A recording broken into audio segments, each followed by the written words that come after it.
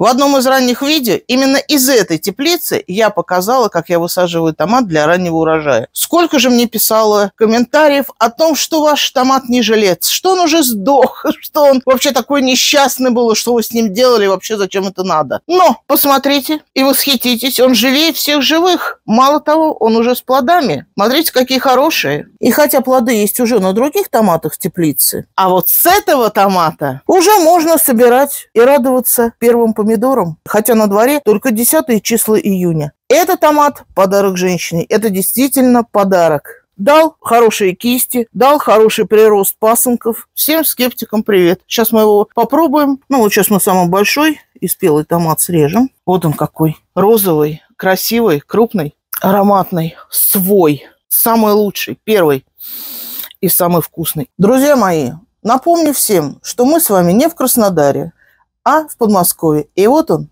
первый помидор. 155 грамм. Прекрасно. Разрежем и посмотрим. Вот он. Аромат лета, помидора.